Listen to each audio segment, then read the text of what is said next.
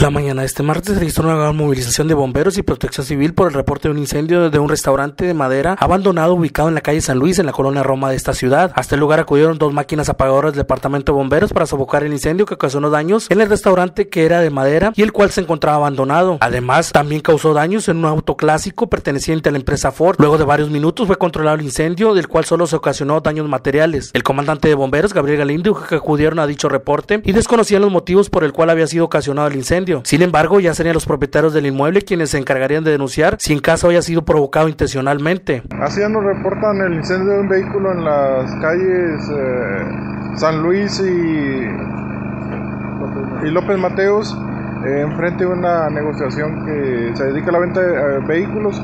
Y bueno, se encontró un local abandonado donde estaba este incendio hay un vehículo antiguo involucrado también. Se desconocen hasta este momento las causas.